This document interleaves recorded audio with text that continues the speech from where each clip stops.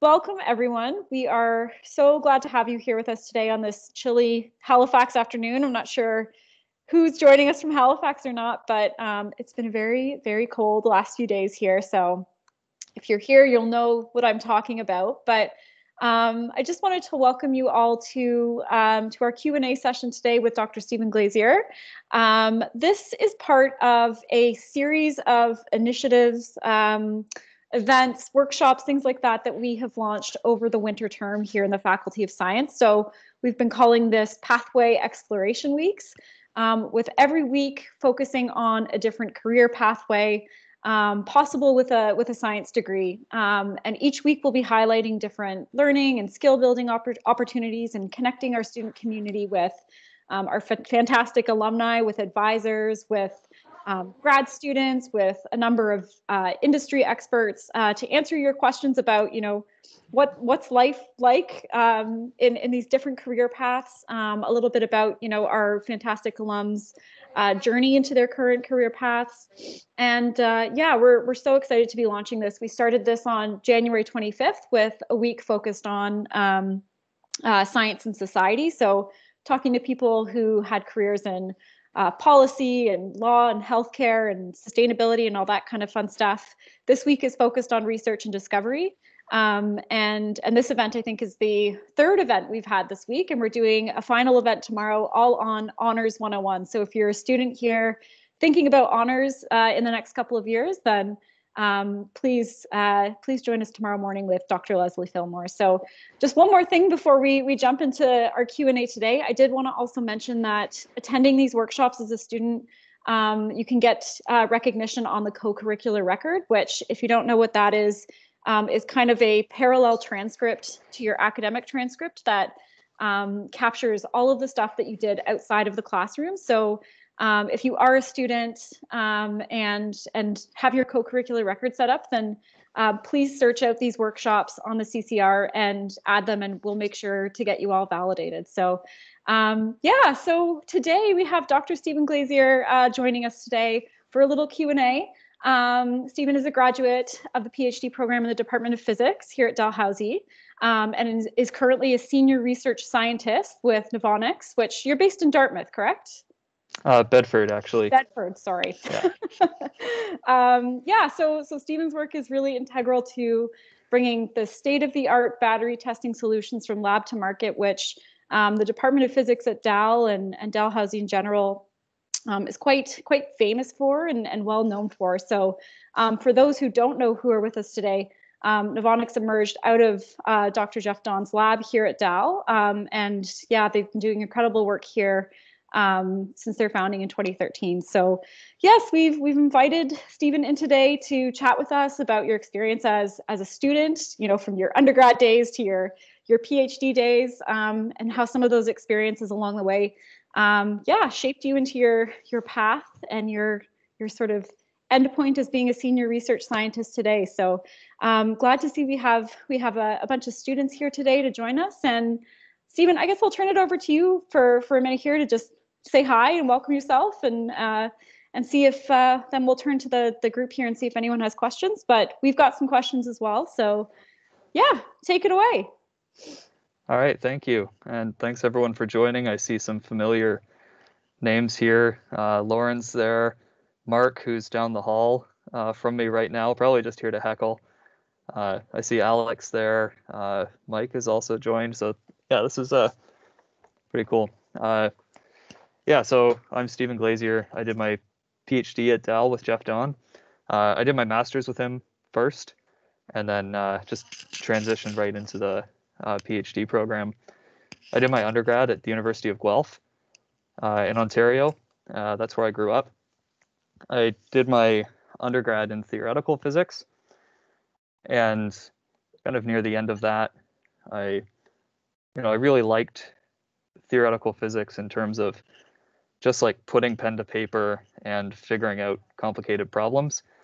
But I was in my kind of senior project doing theory in NMR, uh, I realized that I did this whole like two semesters of theory and equations and solving Hamiltonians uh, about NMR, and I didn't understand anything about NMR, what it was actually used for, how it worked, uh, and that really started me thinking, like, I don't want to be in theory.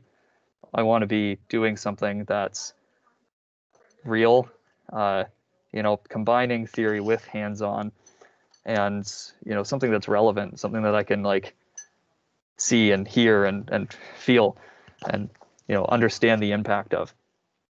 Uh, so when I started looking for grad work at the end of my undergrad, uh, you know, Jeff's lab really spoke to me, and luckily, kind of took me in and raised me into a real scientist. so uh, that's kind of, you know, how I how I got into batteries, and uh, you know, now I, I work here at Novonix. Uh, right out of my PhD, I was looking for what was next, and uh, you know, luckily this company spun out of the lab, so I had I knew Chris, who's our CEO here, and uh, you know Jeff was chatting with Chris, and uh, he came to me right after my internal defense and said, "You should go talk to Chris. Uh, you know, I think he could use some people." And uh, you know, basically, the next day I was hired uh, for finish when I finished my PhD, and I came over here and started now two and a half years ago. And you know, from there, Novonix has grown quite a bit.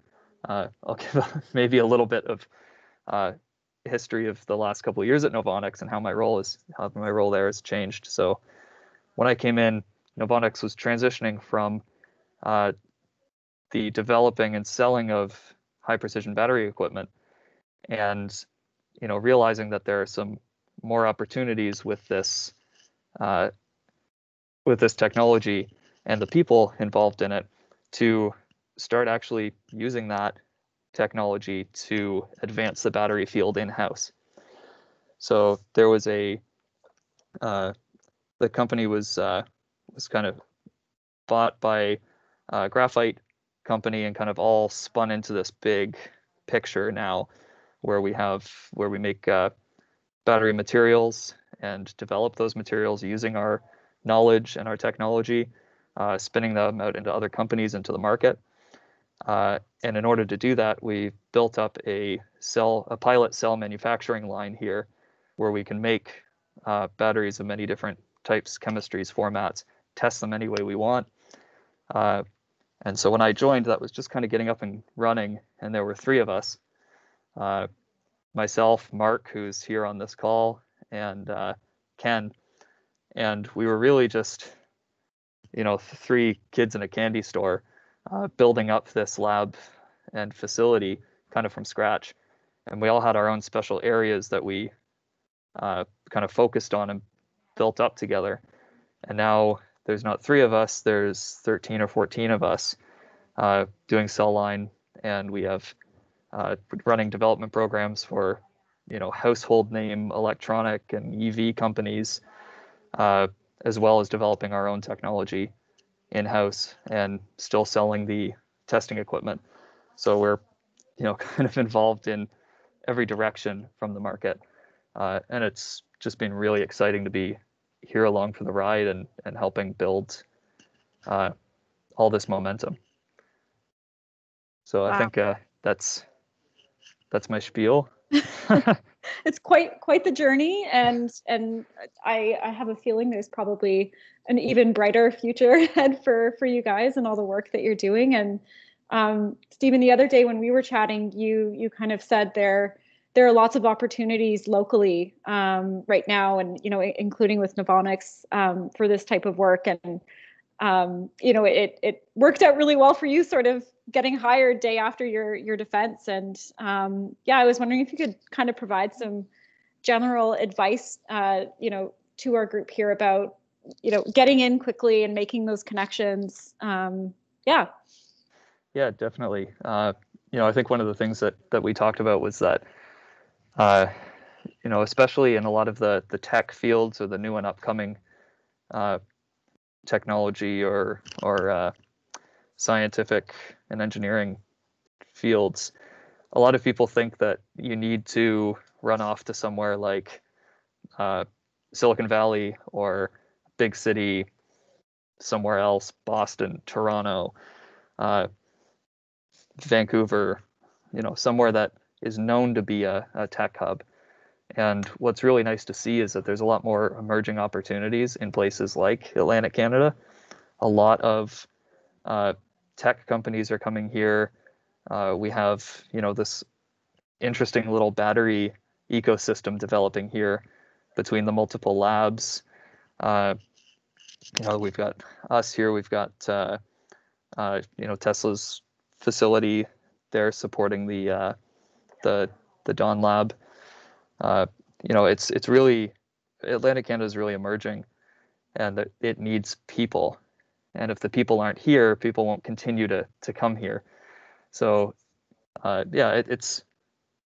I, I would just like to stress that you know definitely to graduates, really look around and see what's uh, what's going on and who you can get in contact with, and and you know try something new because there's a lot of cool stuff getting up and going here. Thank you. So I wanted to just uh, to give the floor over to the group here um, and see if anyone had any questions right off the bat for Stephen. Um, feel free to use the the hand up, raise your hand little function here on Teams. Um, we'd love to see your faces and hear your voices. Um, so yeah, Michael, go right ahead. Hey guys, hey Stephen. Um, hey. So I was just wondering, like you said, you started uh, as the third employee or so at uh, Novonix, right? Uh, can you just give us an idea of like the hands-on thing you guys, things you guys worked on? You know, because I feel like in such a small company, like you know, now it's obviously grown bigger, but I'm sure you know there were very diverse like topics that you dealt with. Um, you know, just in building up this really nice uh, facility that you guys have now. Yeah, sure. Uh, so yeah, I'll start by kind of clarifying that I was the the third employee on the the cell line side. Uh, so the equipment business was kind of uh, had six people or so kind of involved in it. So I think we were I was employee eight or nine or something like that at the time, uh, some somewhere around the ten mark, and now we're sitting at twenty nine or something like that. Uh, but yeah, coming into that, especially with three people on that side of the business, which is half of our our building, it was, you know, three people in 10,000 square feet or so, uh, with all this new equipment coming in to make batteries from scratch, and not just like little button uh, test vehicle cells, like trying to make the real deal. And you know that was really uh, fun. It was very challenging. You know, there were a lot of days of us all kind of turning around, looking at each other, going, I don't know. uh, and a lot of big learning curves uh, that you know you don't really ever get exposed to until you get out into the I hate saying real world, but like out of somewhere mm-hmm. like academia where you you you know you have your supervisor looking out for you. They're doing all the sourcing. They've uh, especially if you're in a big group like Jeff's, mm-hmm. Uh, mm-hmm. You know where there's a uh, there are lab associates taking care of that kind of stuff and coming into uh, you know here where it's like we are the everything. Right. You know we have to make sure that the electricians are going to show up and hook up uh, mm-hmm. uh, you know the right uh, power requirements for all the the equipment. We have to come up with ways of qcing things uh, come up with all the new the systems and design sheets uh, and so that was was really fun there was a lot of like really like physical hands-on things uh, and then a lot of like building up infrastructure, even in terms of data infrastructure. That was one of my biggest challenges mm, okay. uh, coming in. Learning from uh, kind of uh, some of the pipeline, like data pipeline choke points that we ended up having in some of the uh, the labs, and saying how can we build a a system from the ground up while we have a chance now, rather than figuring it out five years from now. Let's build up a nice uh, system that is going to make it efficient down the road so that we can have three people doing the work and the number of the, of test cell testing that 20 people do mm. in an academic lab because in industry you're you are really uh, constrained by finances. Uh, so we, we you know can't have as many uh, the number of cells per scientist has to be mm. very high in terms of turnover and testing and analyzing data. All right. Yeah. Cool. Uh, Thank you. That's of, that's an interesting metric, cells per scientist. yeah, and you know some of the other things that we always tell people uh, when we're doing interviews, like uh, you know here everyone has is involved a little bit in everything, and I think that's really important. Uh, while we're still small too, is to have everyone appreciate every step of the process. Uh, you know, and when we were starting out, and still Mark and Ken still do this, uh, literally doing the dishes. Making batteries is not clean mm. work, mm-hmm. and you know, there when push comes to shove, you know, the most senior guys uh, here are washing and scrubbing, uh, mm. mixing pots and uh, all the coating equipment uh, just to like get things done, get to the next step, uh, mm-hmm. you know, make things happen. So that's those are some of the, you know, the the fun things that doing dishes isn't fun, but it's I don't know. In, in hindsight, it's it's kind it's of fun to, to know that we we get to mm-hmm. see the whole picture and appreciate every. Nice. Yeah, it shows the spirit. Shows the spirit for sure. Yeah. Cool. Thank you for your question. Um, and actually, you just kind of mentioned something. You you mentioned a few things in that section that um, that spurred a question for me, and um, you talked about interviewing. And um, what would be some tips that you would have for for someone who is interviewing for like an industry role, like a, a role at some somewhere like Novonix? Yeah, uh, you know, one of the things that I would definitely recommend, which we, you know, is an easy filter sometimes when we're giving interviews is uh, really understand the role and company that you're applying to. Uh, you know, as science students, it's probably not a big issue. Uh, you know, just do the background research and figure out uh, the big picture, uh, not just what the job description talks about, but really what the the company is about, what the job really means, and how it moves the company. Uh, because sometimes we'll ask we'll ask questions that the interviewees would would have benefited by just knowing a bit more about the company or the bigger picture and being able to express how their skills can are beneficial to the company and how they're they're going to really push us forward uh, just kind of understanding the how you can help and benefit the company, but also the people there too, because you're really making a personal connection with these people. And you know, we're going to be trying to make the new employee be their best person while they're here, and ideally, we're going to be hiring the people that are going to bring out the best in us too. So trying to make those those connections with the bigger picture is is really important. Awesome. That's really excellent advice. Thank you. Uh, so I, w- I want to turn it back to the group and see if anyone has any any questions. Feel free to use the the hand up um, here on Teams, um, or if not, um, you're always welcome to put any questions that you have into the chat here, and we can certainly pass them along. Um, so yeah, I'll give it that extra that that little three to five seconds of awkwardness to see if anyone puts their hand up. Um, I have some more questions here if not, but. Yeah, I I can also like maybe I can ask a question to the uh yeah. the little colorful dots down there. Uh and is uh is there oh somebody Oh there, there is there. A, there is a question. Do you want it I'll read it for you and then sure. do you want to hold that thought and then we'll we'll yeah. we'll move on to your question. Okay, so um it's from Alexander. Um who doesn't have a micro camera. Um, so can you speak at all about how compensation works with stock options? Salary is pretty obvious, but what typical stock options are is a bit more ambiguous. Yeah, so uh, I'm. I'll start off with like what stock options are, uh, and it's basically a way of an employee to access uh, purchasing stocks at a reduced rate. Uh, so you know, say you are offered something at uh, a big company like Tesla, and they say, you know, you'll get, uh, you know, this much per year, and your signing offer is also going to come with, uh, you know, fifty thousand or not with Tesla, fifty stock options at this dollar value. Uh, what it means is like usually it's like the dollar value when you start when you're going to sign on, and then those will become accessible to you in like maybe half one year later and half another year later.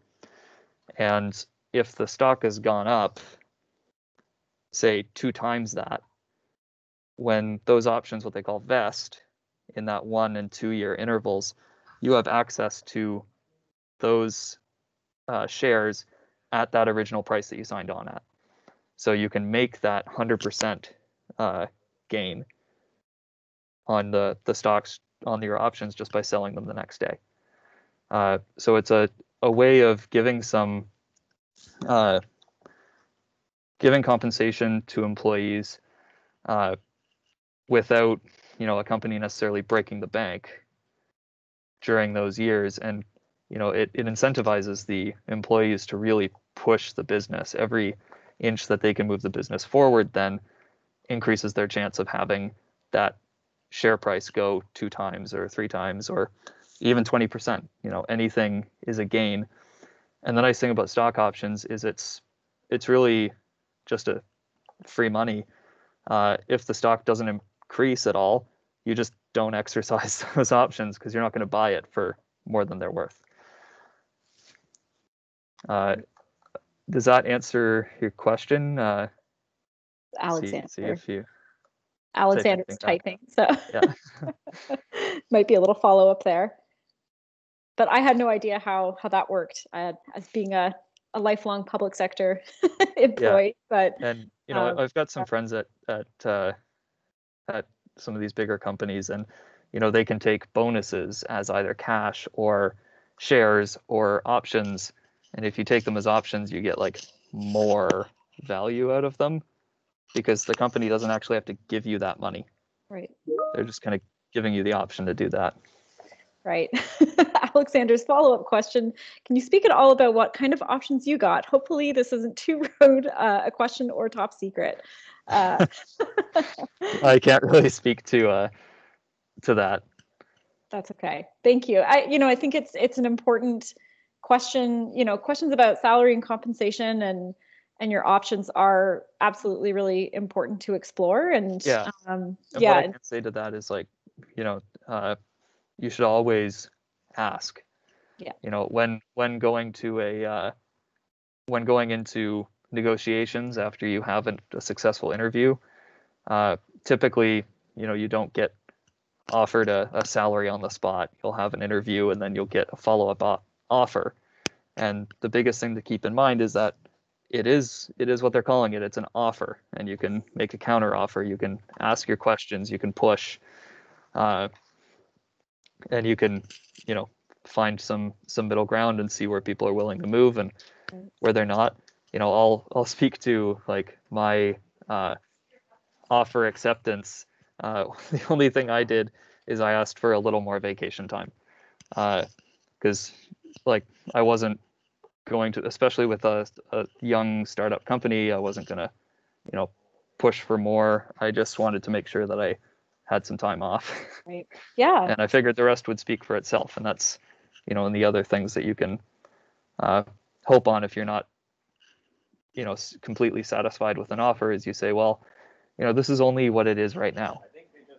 When yeah. you are looking at these like scientific and engineering fields, you know, over the course of a few years, especially if you're making an impact and doing a good job, you know, you you start talking with your supervisors. You have these six month uh, progress meetings and reports where you can bring these things up. So what you start at is not locked in stone forever.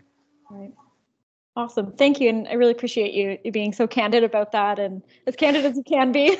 um, thank you very much for your question, Alexander. Um, Stephen, I know you said you had you had a question for the group, so I can I'll turn it over to you to to ask that if you'd like.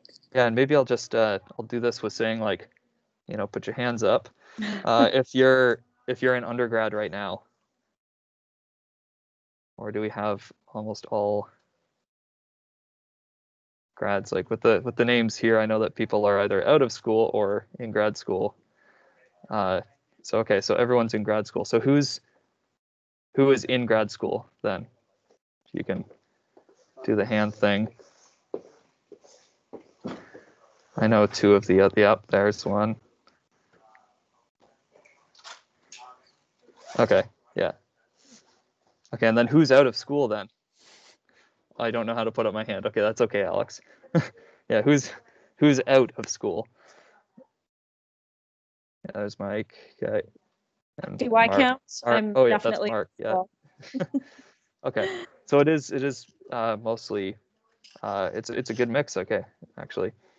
Uh, yeah, so I guess in if everyone's in grad school, then my my comments about undergrads, you know, not being afraid to ask questions and really get into labs doesn't really, uh, you know, everyone kind of has been there at some point. But Stephen, what I, what I will say is that because we're recording this and we'll be sharing this re- recording far and wide, uh, yeah. please continue to to share that advice because I'm sure there's there's a lot of students who maybe couldn't attend today who would sure. still like to hear that advice. So yeah, please go ahead.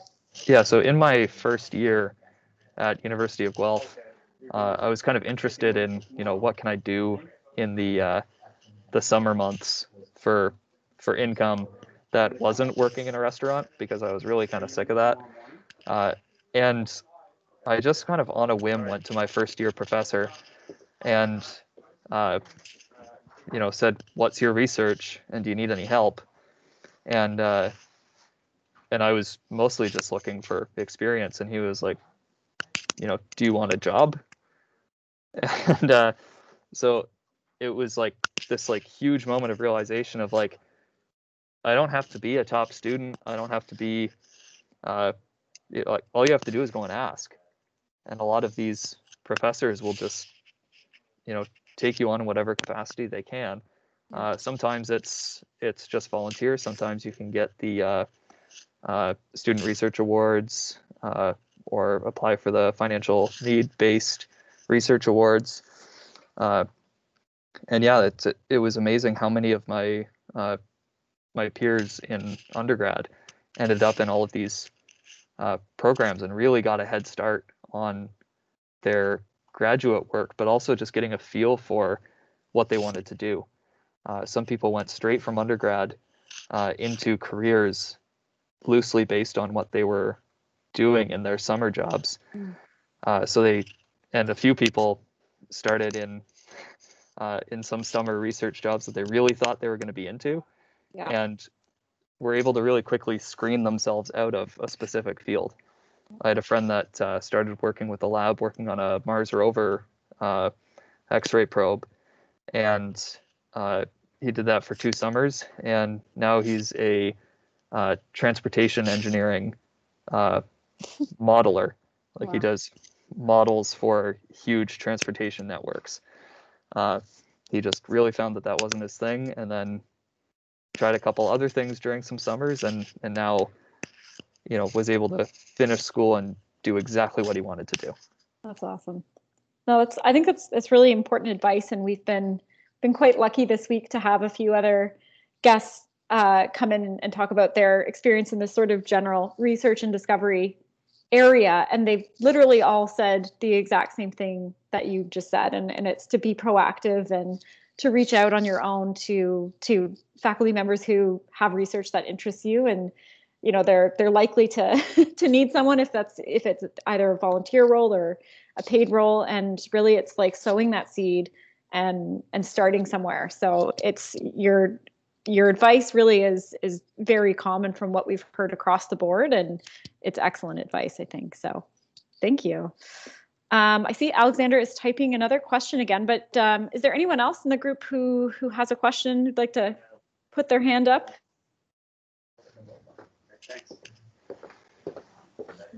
You've got a very busy office office there. Lauren, Hi, Lauren. Hi. Hey, Stephen. Um, I had a quick question just about like you'd mentioned how your role has already evolved um, at Novonix, and I'm just wondering. And I know you said you had like a bunch of meetings today, but I'm kind of wondering what a like a typical day would be like for you, and then also be like how you expect your role to change in the next year, in the next five years, or. Sure. Yeah. So a typical day for me right now. Uh, so at the moment, uh, a lot of us that have been here for a bit wear quite a few hats. Uh, so my most common hat, uh, I think I actually need a physical one, is like a fire hat. Uh, because it, it just see like we of call every like everything's a fire. Like oh, I got to go and do this, and now I have to do this. Uh, there's no real structure to my day right now.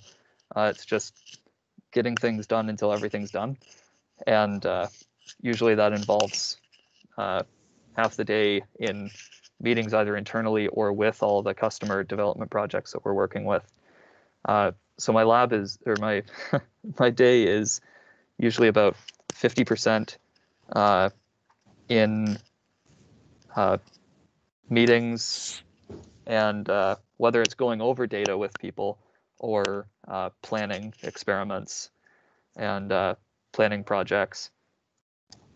And then about 25% of my day, I would say, is doing actual analysis and working on, uh, you know, just myself thinking, doing things. And then another maybe 25% of my day is spent uh, actually in the lab looking at things, getting hands on, getting cells on test.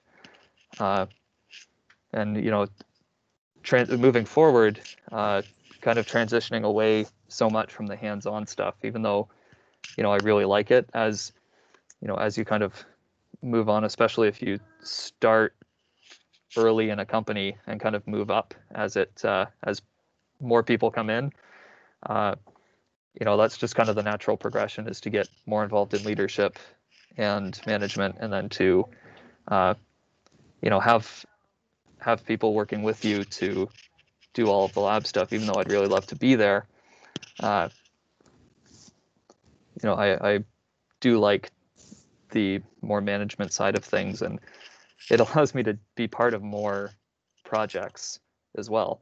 Uh, if I'm able to to sit more and uh, and delegate and kind of have a bird's eye view of everything, but not have to do each individual task.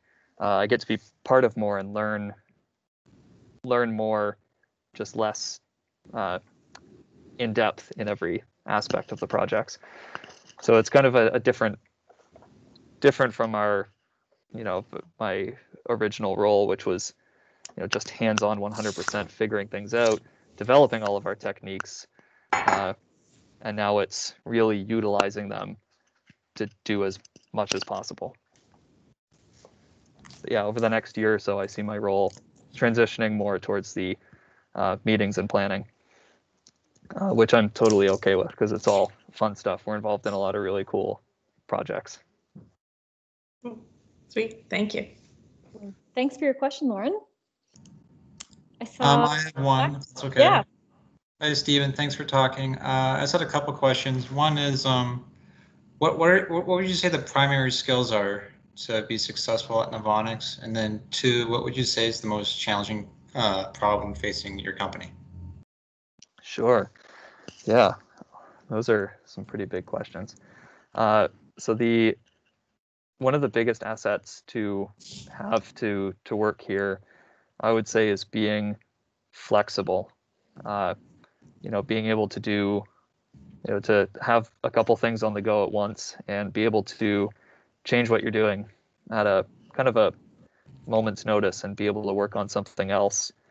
Uh, that's one type of flexibility, just like mental flexibility uh, to change focuses and switch from one project to another. Uh, but another is uh, skill sets. And I think this is true for a lot of early businesses is uh, you know, it's really hard to hire people that are highly specialized in one very small area when you're uh, growing. Uh, you want to hire people where they're, you know, they have multiple skills that that you can see being part of your business moving forward. People with hands-on experience with, uh, you know, in terms of like physics and chemistry, I would say like uh, not just theoretical work, but yes, they've done lab work uh, bonus uh, if they've built some equipment before and got it functional or designed equipment and then used it to do things.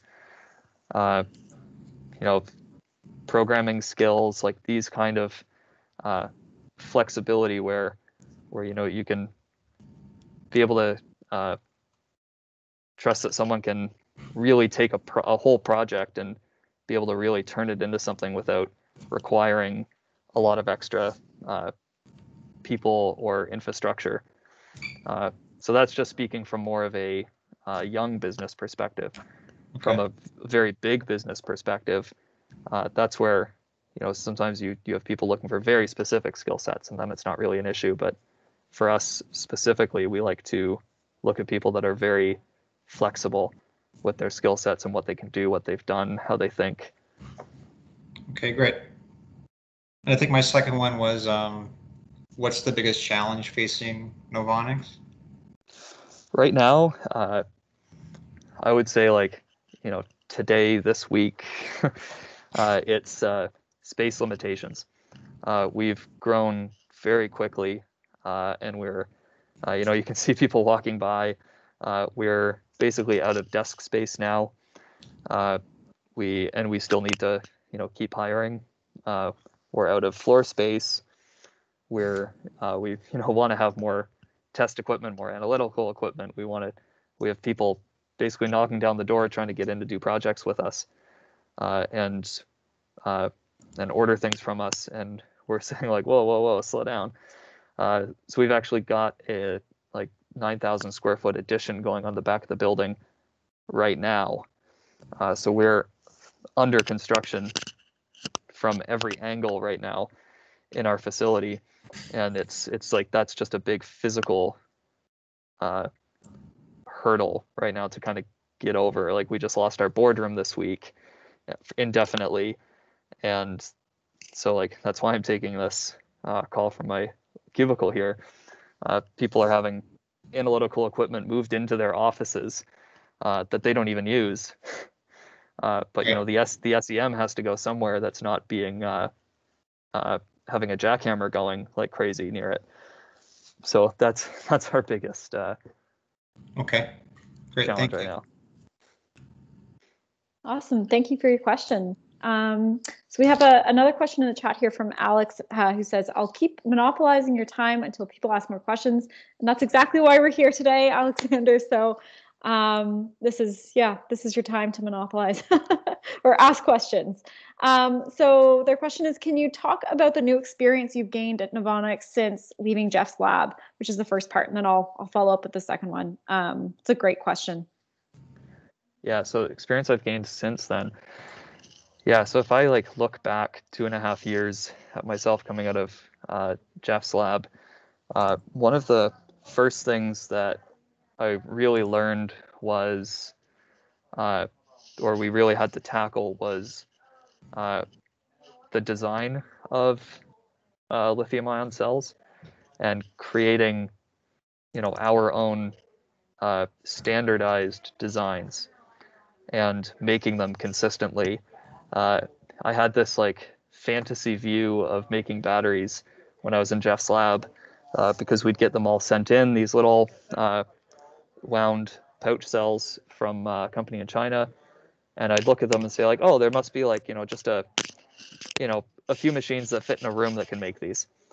And then coming here, and that was our first kind of cell design, and it was you know it's our whole facility to make those size of cells. There's so many uh, steps in the process and such tight specifications. Uh, I had it in my head like, oh, you know, Jeff's lab goes through so many of these cells. Maybe we should, maybe he should just invest in a small little cell line in the building. But it would take an entire like half a physics building to do it. Uh, so that was one of the the first things that I really learned and started to appreciate all of the uh, fine details about uh, cell building and how really finicky it is, uh, and and the designs around the cells. Uh, some other things that uh, some of the oh, wait, what was the question again? I, I kind of got rambling. S- How No. my Uh, experiences? the uh, the new experience you have gained uh, since leaving Gained, Jeff okay. Lab. Yeah. Yeah, uh, it's hard to to compare back because it's been just a constant kind of transition. Uh, but learning a lot about how to talk with people in the industry uh, is was a, a big challenge. It's very different from going to an academic conference and uh, you know chatting with people that are doing academic work that kind of know everything that is going on, uh, know how batteries work, especially. Uh, you know, half the people that come to us uh, looking for battery development uh, projects and help, uh, it's surprising how many don't actually know how batteries function, and they're really looking for us to tell them what they need to do, what experiments they need to do, and then what they mean. And what they mean, not just in terms of, you know, you you can make it charge faster with this, what it means from a business perspective. So there's kind of all of this, everything in industry, you start transitioning away from what this means in terms of like, oh, cool, this will make batteries much better and it'll you know push the the field forward and help uh, you know everything that we're really trying to do with batteries in terms of uh, enabling energy storage and EVs. Uh, but you have to, unfortunately, learn to to spin it and tell people how to how this is going to help your business, right. uh, or else no one's actually going to do the work with you. So that's a skill that was like honed over you know trial and error over the last little while. Cool. Uh, so that that yeah that was also I guess to I think it was Zach's question. Uh, you know that's one of my challenges over the years, not just at this point, but it's transition, be able to think academically when I need to, mm. but also to think in that kind of business way. I like that. Yeah. Um, and and I think there was a second part to Alexander's question is um, if for whatever reason you wanted to leave and get a job somewhere else, do you think what you have learned at Novonix has made you even more valuable to other battery companies? Alexander is just asking these hard hitting questions here. That's Alex, 100%. Uh, yeah, and I, you know, I, I, I do think so, and uh, you know, it, pretty much exactly this time last year, I was approached by another company to go and uh, and work for them, and uh, I went and interviewed, and uh, you know, I almost pulled the trigger on it, uh, but I decided to stay in pretty much for that reason. If I ever do, if the you know reasons stack up that I I actually want to go somewhere else, I have full confidence that I'll be able to get a job, and I don't, you know, that my experience here has enabled that, and I, I won't really have to worry, will I be able to find a job? Uh, so I think that that the experience here has been really helpful there. Awesome. That's great. Thank you. And Alexander says thank you. um, yeah, Zach, go ahead and then I'll. I'll oh, sorry. Did I cut someone off? No, go ahead. I'll I'll ask a question in the the chat afterwards. But go ahead. I had a few questions. Uh, that's okay. Probably too yeah. many. Uh, one is I don't know if you have any insight to other battery companies, but what would what would be what would be so special about Novonix that makes it stand out from others? That's one question I have. And then, yeah, yeah, go ahead, and then I'll ask okay. the other after. Yeah. Sure, and you know what Novonix really is is uh, you know, unlike someone like a uh, you know like an EV company, or you know somebody with a product, is we don't have a specific application that we're building a product for. Uh, we're developing more technologies and materials uh, in house uh, and working with other companies, especially if they have like startups that can be that can end up being some kind of joint venture and spun out into something bigger. So we're more like a technology hub, uh, or you know, a, a, what would you call it, incubation okay. uh, facility, where we, you know, in our spare time, haha, uh, we get to you know work on internal projects and what we think is really cool and could be big and useful uh, but then also work with all these other companies on solving their problems moving the industry forward in that way and then these companies that come and have some ideas but need some expertise to really get them going then we can join up and partner with those companies become one unit and make something happen with that. Uh, so what's what's kind of nice is there's not one overarching goal that you're kind of bound to, like always moving towards that one. There's always something different happening, Okay. and things are spinning out with a lot of momentum. Uh, you know, some things, you know, stumble and fall flat on their faces, but we get to learn from every single one of those. Uh, and that was one of the reasons I chose to stay here. Is there's so many kind of interesting things happening, and so many different opportunities in different directions, uh, rather than kind of being under one one overarching goal. Uh, But there are definitely benefits to both. So Yeah.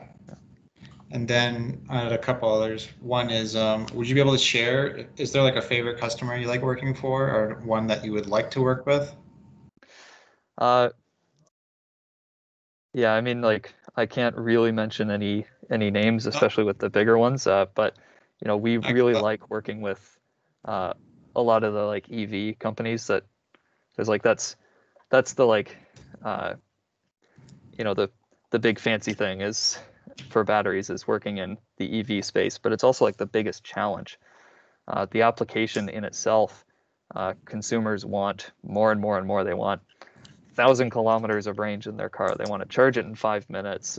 Yeah. You know, so it's the most challenging thing, and the way some of these companies are are doing uh, things is really intriguing, and the way they're really pushing boundaries is really interesting.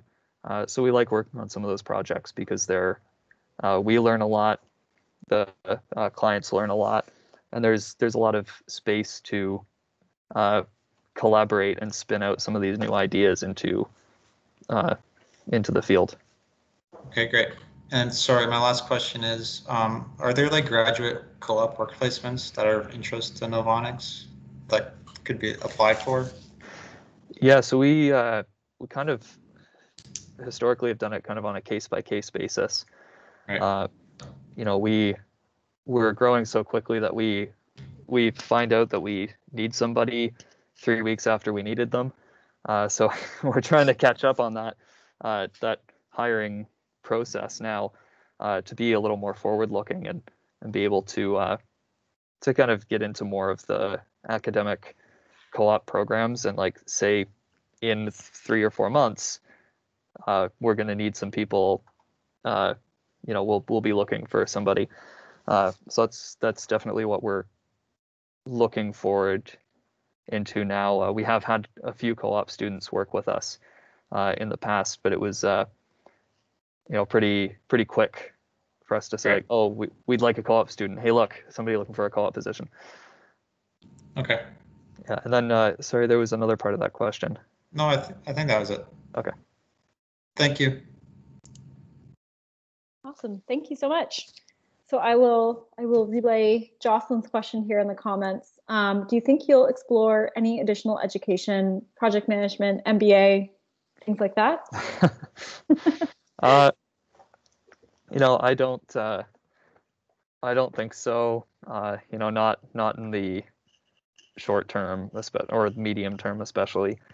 Uh, something I've always kind of joked with, uh, especially my wife about, is that, uh, you know, at some point in my life, I could maybe see myself doing a PhD in biology. She's a biologist. Oh wow. Uh, but that would be like, you know, next career 20 years down the road, uh, you know, just for fun. yeah.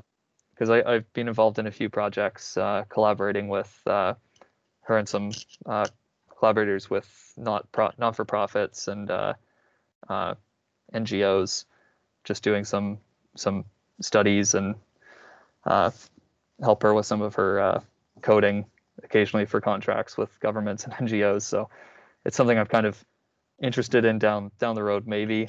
Uh, Cool. But that's just a you know kind of a dream in the back of my mind somewhere. It's not every day you hear someone talk about doing a, a PhD just for fun. So um, that's awesome. And I, maybe that kind of weaves into my my next question that I've been wondering. Um, and you you sort of addressed it in your your introduction about you know leaving theoretical physics um, and going into you know industry and and and this and um, why did you choose industry over academia. Um, you know, with a with a PhD, you'd be able to sort of teach and be in that university world. And yeah, if you could talk about that a little bit more, the the decision to go this way and not the other way. Uh, a lot of it was looking at what uh, a lot of new profs just kind of had to go through. Uh, unfortunately, uh, you know, but everyone has their their own opinions about teaching courses and uh, kind of the I don't know the university system in general. And I won't get into too many of my opinions there, but uh, like having to to kind of teach and stick to uh, some of the rules about uh, the or the early prof stages sound really stressful and really hard.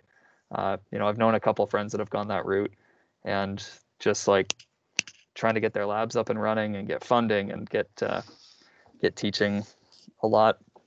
It wasn't something that I really was looking for. Uh, I was toying with getting like going into a postdoc, and then uh, I just didn't want to be 40 years old without a, a like permanent career.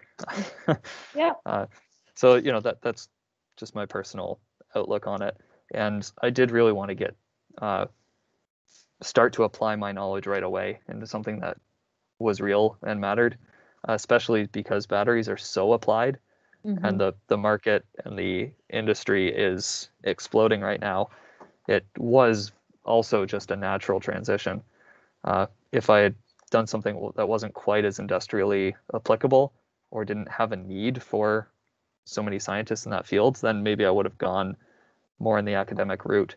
Right. Uh, but it was for for my field at the time, just like right place, right time to just get in and start running. Cool. Um, and you've you've been you've been with Novonix now for you said two and a half years, correct? And I'm sure in that time the the industry has changed a lot, and like you said, just exploded. And where do you see where do you see the the sector, or the industry going in the next five, ten years? Oh, geez. Uh, fast and big. Uh, you know, I, I think there's there's not going to be enough people. There's not going to be enough uh, materials and technology and infrastructure to move fast enough. Uh, and I think that's going to make it really stressful, but really fun mm-hmm. uh, to be part of trying to make the solutions to uh, not be the bottleneck. Uh, you know, a lot of what we focus on here are ways to make battery technology. I think it's like faster, cleaner, cheaper is our three words that we we look for, and each of those things are critical for the next five to ten years. Have to move away faster than we're currently moving. Uh, everything has to be done cleaner. Uh, so all of the manufacturing methods need to be uh, be using less water, fewer chemicals, uh, less waste, and a lot less energy. Uh, and then cheaper is the other like huge one. If it's not cheap, it's not going to be adopted uh, and invested in. So that's uh, yeah, the next five to ten years is going to be absolutely crazy in this field, uh, and just really excited to be part of it in the momentum gaining stage. Awesome. That's great. Thank you. So we we are just about at time here. We've got about three minutes left here on the clock. Um, are there any final questions for Stephen before we before we leave today?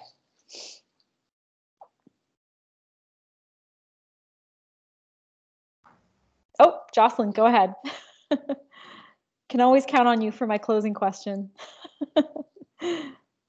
This is a little bit of a loaded question. Um, so a couple of years ago, um, Jeff Dahn presented uh, the bicentennial uh, lecture for the 200th anniversary, and he he said a statement, and it stuck with me for a really long time. And he said in approximately 10 to 15 years, he thought it would be socially unacceptable acceptable not to have an electric vehicle. What are your thoughts on that? And do you think his predictions are accurate? I I think his predictions are pretty accurate. Uh, I think there's there's always going to be a time and a place for internal combustion, uh, especially when you you need uh, vehicles with huge power requirements or they need to be way off, uh, you know, in the field somewhere, and just don't have access to the necessary infrastructure uh, for for charging capabilities. But uh, in terms of like 99% of transportation, uh, I feel like it's going to be uh, all of it's going to be electric. Uh, you know, unless you need to, unless you actually need to go a thousand kilometers at a time without stopping for 45 minutes, which I don't think there are many applications that require that.